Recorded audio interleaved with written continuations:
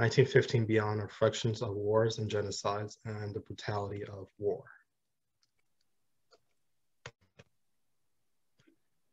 For those of you know who I am, my name is Julian McBride. I'm a forensic anthropologist. Uh, so um, this event was brought together by myself, um, primarily because I use art therapy. Art therapy is a therapeutic practice of expressing yourself to um, pretty much meditate PTSD, post-traumatic stress disorder. Post-traumatic stress disorder is anything that could trigger or bring forth um, prior traumas and genocide or just war in general. It could be a sexual assault victim. Um, you could pretty much domestic violence, a veteran, anybody could have PTSD. And my goal is to shed light on PTSD through art as a form of expressing yourself rather than communicating. Acknowledgements. Um, 1915 and beyond is dedicated to all the victims of war who perished in large-scale massacres and genocides. And to survivors who have never held their stories told in history. History is always written by the victors, but this time history will be written by the victims. Just before I start, this presentation does include some graphic images that I've drawn, including images I've brought forth from the, from the internet. If you don't wish to continue because they may seem graphic, you could leave the chat. No one's penalizing you. Um, just a heads up that they could be very triggering for anybody who has a trauma. Art therapy is a form of psychotherapy. It helps with PTSD, mental distress, disabilities, disease. People who have Alzheimer's use art therapy all the time. It gives them a sense of remembrance of their past. Uh, 1940, it was brought forth to the United States by Adrian Hill and her doctor doctorate art versus illness brought forth art therapy to the United States.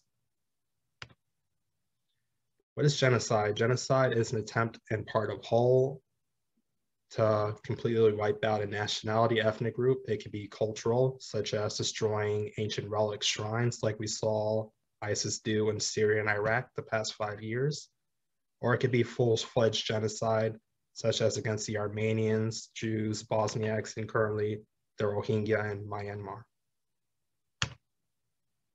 Here are universally recognized genocides such as the Holocaust, Rwanda genocide, and Bosnian genocide.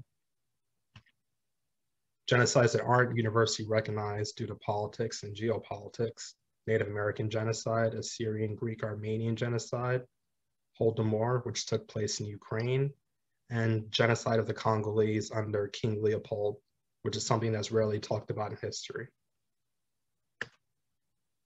This is my first drawing that pretty much got me into art therapy. I did this under Professor Argio Agelarakis as an independent study when I presented at University of Memphis. This is a Greek veteran who was decapitated. Um, his body was severed, but his on uh, doing anthropological research, Professor Argio And Professor Notis Agelarakis found the body and the head of this veteran, were able to match it up and retell the story. In the 14th century, during the Ottoman conquest of Greece, this veteran uh, was a commander in a fort called Polystylon in Western Thrace, which is located at the Red Star. Over 20 years, the fort was besieged by Ottoman forces. The veteran suffered a jaw wound, as you can see during the curve right here on his chin. Uh, they were able to fix him up through uh, medical surgery and he still led the defense. Eventually when the fort fell, he suffered a brutal head wound to the head right here, most likely a large scale weapon such as an arrow or battle axe, and his cranium was completely crushed. Afterwards, his body was decapitated. But I'm going to continue the story through the second slide when his body was decapitated, it was actually a, a way to mock Christians as a way because early Christian practices basically said if your body wasn't whole, you couldn't go to heaven. So that body was decapitated post mortem and separated from his body. But the people, the uh, citizens of Polystylon who survived the siege, they were able to place the head towards east of Greece, which is very, very crucial east of Greece is Jerusalem and the Levant region. And that represented that his head was facing towards the kingdom of heaven, as an early Christian practice were to say. Eventually, Professor Agelarakis and Professor Notis Agelarakis found the severed head of ancient veteran in his body in the early 90s. And I presented research through their guidance at NCUR over this veteran. And this is what got me into art therapy originally. This is the third century skull of an ancient Roman who actually had uh, surgery right here to relieve swelling on the top of his head from a fort. This veteran was actually located in a fort that belonged to King Philip of Macedon, but was then inhabited by the Romans. So that also showed early Greek migration into Italy before the Roman conquest of the Mediterranean. And the swelling right here was relieved uh, towards the back of the head, as you can see the two round bald spots of his head of medical swelling. This also got me into medical anthropology as well and practices that involved it. These, um, some of my favorites because these are Armenian women during the Hamidian massacres if they were pogroms against Armenians, Assyrians, and Greeks located in Asia Minor by Sultan Abdul Hamid II after military losses in both the Balkans and the Russians. He took out his anger on the second class citizens of Asia Minor, which were the Christian population. Some some of them took became militia militias, took up militias and took up arms against the Ottomans. Overall, two to 400,000 Christians were killed during the pogroms, but these two ladies actually ended up surviving.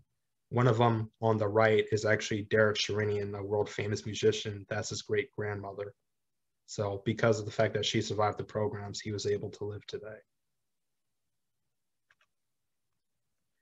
And this is Dangerous Nationalism, which one of my favorite captions that I've ever done. It's okay to be a nationalist, but it's not okay to be a blind nationalist because he, under blind nationalism believes that no matter what, your government is never wrong, and you believe anything your government were to tell you. This is one of the main problems in history and why genocides happen is because the government will largely blame a minority ethnic group for their problems rather than blaming themselves.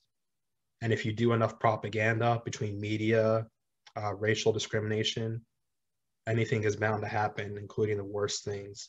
These were two Armenians who were executed by the Ottoman government right before the genocide. And there are very, very much parallels in history where you saw 1939, Jews were outright banned, boycotted in Berlin, which ended up becoming the Holocaust in Rwanda, you saw mass like early massacres and hatred against Tutsis by the Hutu-led government.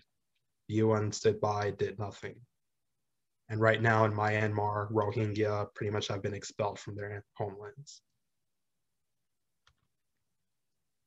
Atrocities against Assyrians, as you can see, this is a seven-year-old Assyrian girl starved to death alongside her siblings dehydration and mass starvation was a primary method of execution during the 1915 genocides. Continued as well. Sayfo is the Assyrian name of what they call the genocide. Sayfo means sword. Our primary method during the genocide was cutting people in half with swords. And that's how Assyrians remembered that they were butchered to death and no one came to help them. And this world is never really black and white. It's always gray. There is no good side in anything. A lot of times in history, you'll see, you'll see, hey, the Americans, they helped liberate the Jews, they saved the Holocaust. Believe it or not, about 80% of US companies were actually collaborating with the Nazi government.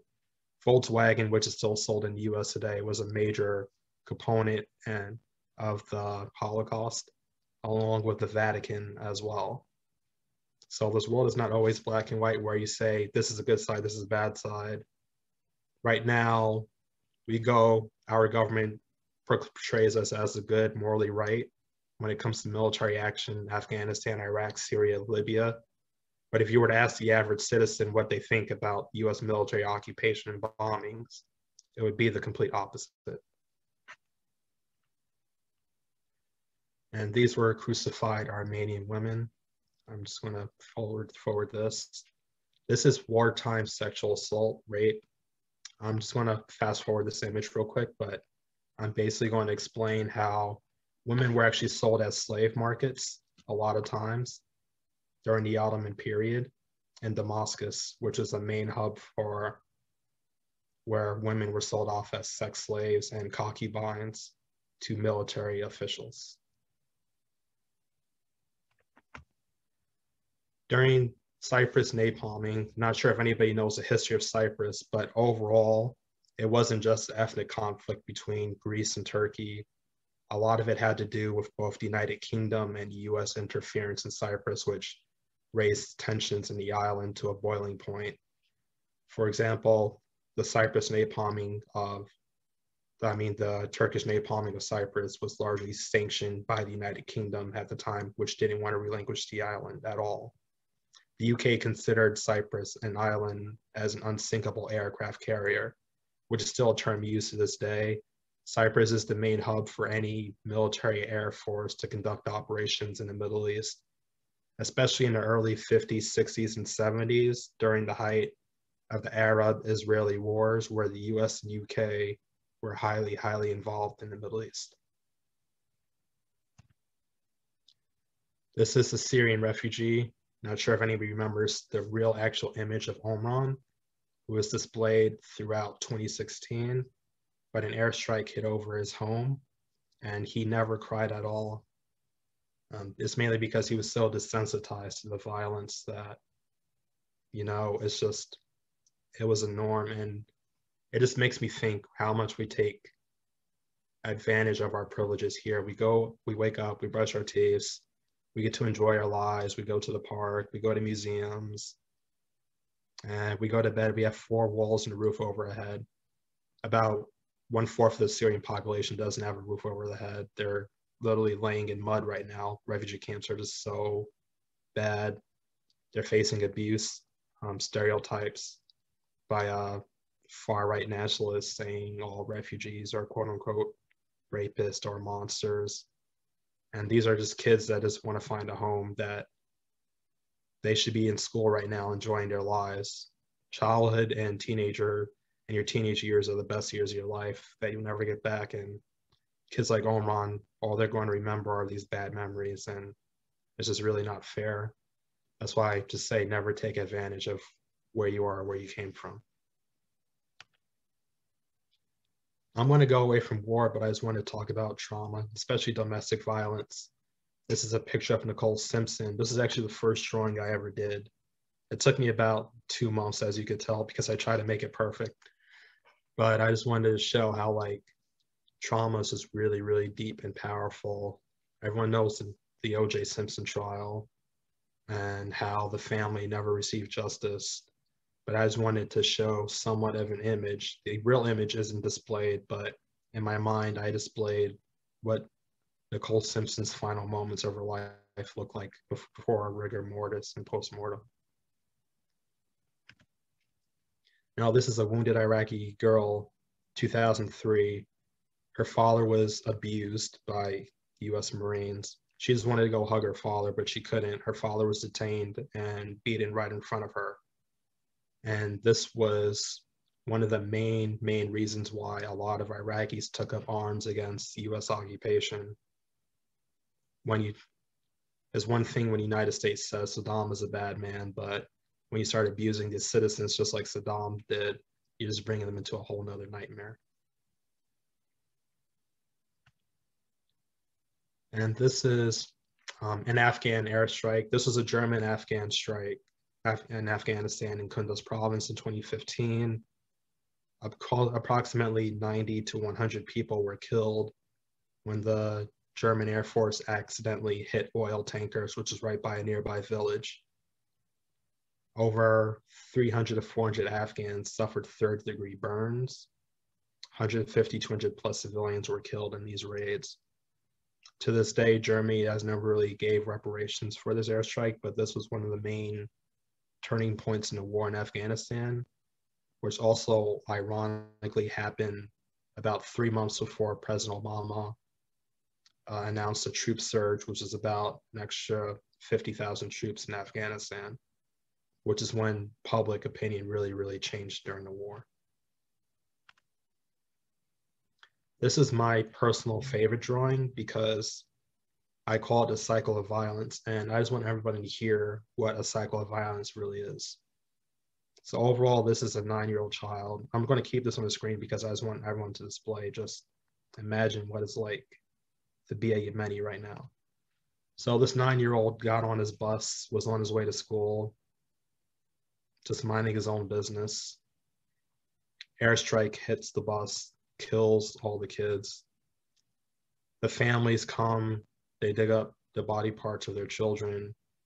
It was a Saudi Arabian, it was an airstrike by Saudi Arabia, but the missiles were made in the United States. So you pretty much have United States backing a very, very theocratic and brutal regime which killed their children. These same parents, locals, they're going to take up arms in frustration against Saudi Arabia and the United States, which in turn sometimes it'll lead to terrorist attacks here or terrorist attack or attacks at our diplomatic stations abroad. Now the military industrial complex here and, pol- and hawkish politicians will use this as an excuse to continue bombing, more military interference and interventions in the Middle East. Now you just have one big full cycle of violence continuing and continuing. That's nearly endless. And I just want to display this because right now the United States is concerned right now is considered to be in an endless war. Afghanistan is considered endless. As of last week, President Biden authorized an extra 4,000 troops in Iraq over high intentions with Iran. So right now that's looking like an endless conflict. And right now we have no exit strategy in Syria. And that could pretty much be another endless conflict for the United States. Sins of the Father. Each year, Africa suffers tribal tensions and conflicts. A lot of people think it's just, oh, it's just African problems, it's just African tensions. A lot of it was divisions created during the, colon, colonial era. How, how did European powers conquer these nations? It was easy. It was a divide and conquer method. For example, if you go to Rwanda, the Belgians backed the Tutsis over the Hutus originally and here's why. According to Belgians, Tutsis were lighter skinned black people. They had smaller noses. They had more elegant lips. So they demonized another section of the population, the Hutus, and gave the Tutsis a little bit more privileges, but didn't treat them the same way they would treat the average Belgian. So that divide and conquer already works right there to where you don't have to send a full-fledged military to do your work in Africa you pretty much turn the locals against each other. And to this day, a lot of these conflicts are born from this, these divide and conquer methods. And child soldiers, I can't express this enough. To this day, child trafficking is one of the biggest things in the world. And using children amongst war is still used to this day. ISIS used cubs of the caliphates the Lord Resistance Army, led by Joseph Kony, was a known full children army, kidnapped children. We see it all the time, even during the height of the Latin American wars. Children were used in conflicts. And it's just something that needs to end. Children deserve to have their own life of their own. And it's just a shame that it comes to this. Okay, so this is a woman who was post-mortem burned during the firebombing of Dresden. Uh, Allied forces, both the United States and the UK, decided that Germany, uh, particularly the city of Dresden, which, uh, which was a military hub, that they just wanted to destroy the city outright. Even though there were military targets there, they knew that there were over 25 plus civilians trapped in the city. But instead of just using regular munitions to bomb the city, they used napalm outright, napalm and incendiary weapons. And a lot of them, they use oxygen bombers. If you don't know what oxygen bombers are, they light the air on fire. So during the height of the two to three day bombing of Dresden, the oxygen was so hot, it was close to about 6,000 degrees Fahrenheit, which only a nuclear bomb could be hotter than that. So a lot of people, not only did they die painfully, they also died by inhaling the oxygen, which burned their internal organs and lungs.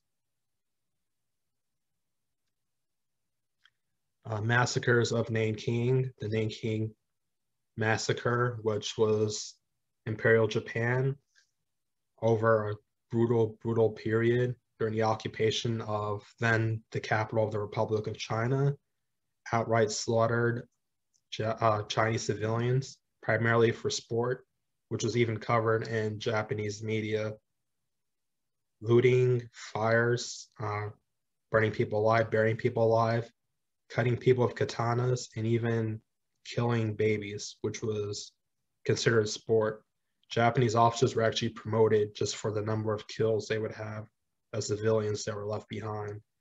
And to this day, one of the reasons why Japan and China have so much tension is because Japan never fully apologized or paid reparations for the massacre of Nanking.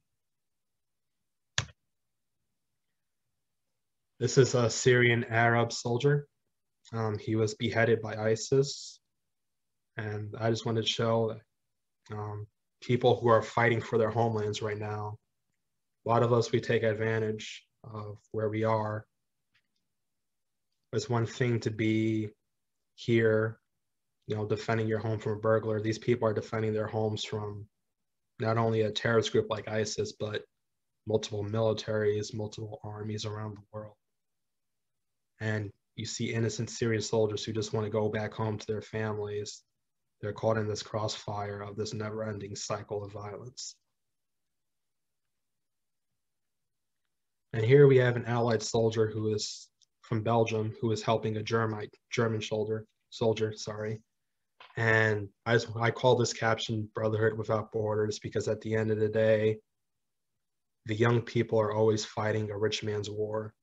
We've seen that happen all the time. Malcolm X, Muhammad Ali, they put emphasis on things like this where you have 17, 18 year olds dying all the time, while the rich politicians, they drink their expensive bottles of champagne eat steak and lobster while someone else is fighting their war for them.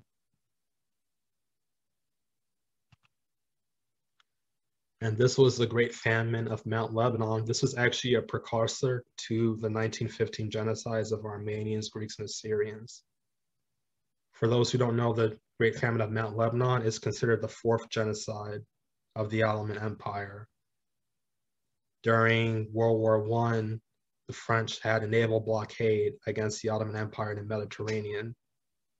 And the only way food could get into Lebanon was through Syria. The governor of Syria at the time was called Djemal Pasha. He was nicknamed the Bloodthirsty. And he purposely halted food in Lebanon, Mount Lebanon, for two reasons. One, to blame the French overall of the impending starvation, and two, at that time, Mount Lebanon was autonomous a lot of Mount Lebanon population was made up of Maronite Christians, and they were autonomous under French autonomy rule. So this was the Ottoman Empire's way of getting back at France as well. Over four to 500,000 Lebanese, mostly Maronites, were starved to death. They largely had to rely on grass, wheat, dirt, even eating their own cannibalism, pets.